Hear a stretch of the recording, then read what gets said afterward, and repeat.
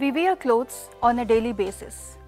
But have we ever wondered where do our clothes come from?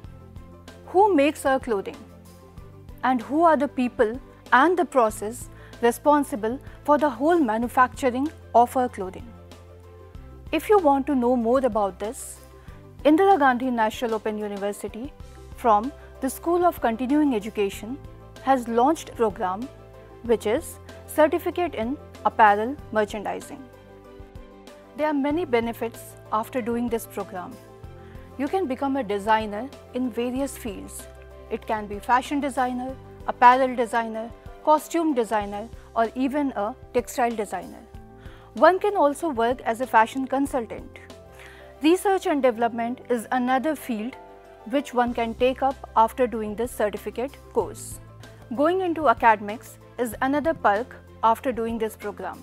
Getting into fashion houses or fashion studios as an intern is also a very good option post doing the certificate in apparel merchandising. The basic eligibility of the program is 10 plus 2. The duration of the program is 6 months to 2 years.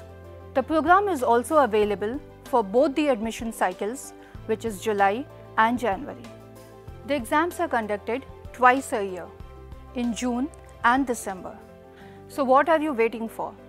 Join this program and get an enriching knowledge in the field of apparel merchandising. And to do so, you can log on to the official website of the university www.ignou.ac.in.